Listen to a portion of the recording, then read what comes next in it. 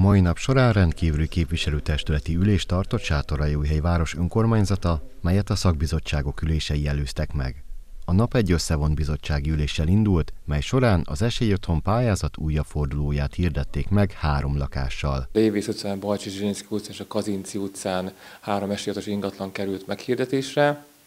Október 20-áig lehet erre a három ingatlanra pályázni, amit a pályázatok beérkeztek, ezeket majd összeszedjük, megvizsgáljuk, a pályázatok megfelelően pontozzuk, és egy következő esélyhatalmas bizottság ülésen pedig eldől az, hogy kik kapják meg ezeket az ingatlanokat. A mai napon rendkívüli testületi ülésre került sor. Itt a módosított meghívó elfogadása után négy napi rendi pontot tárgyalt a testület. Az első a partnerségi szabályról szóló önkormányzati rendelet módosításáról szólt. Ennek apropója pedig az, hogy a településrendezési terv és a helyi építési szabályzat jelenleg felülvizsgálat alatt van.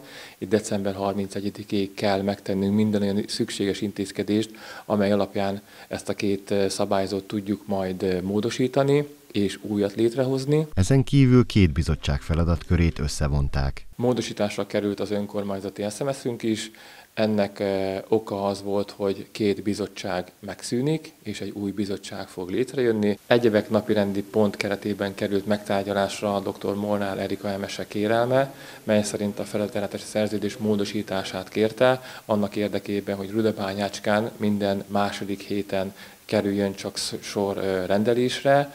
Ez azt jelenti, hogy minden kedden, páros héten 15 és 16 óra között fog csak Rudabányácskán rendelni, de természetesen Rudabányácskai lakosok a rendelési időben a Máté utca 14 számát a rendelőjében bármikor jelentkezhetek nála, hogyha ez szükséges. Az újonnan alakult Városüzemeltetési és Ügyrendi Bizottság elnöke Seves Péter lett, aki eddig az Ügyrendi Bizottságot vezette. A napirendi pontok között szerepelt még önkormányzati vagyonhasznosítás is.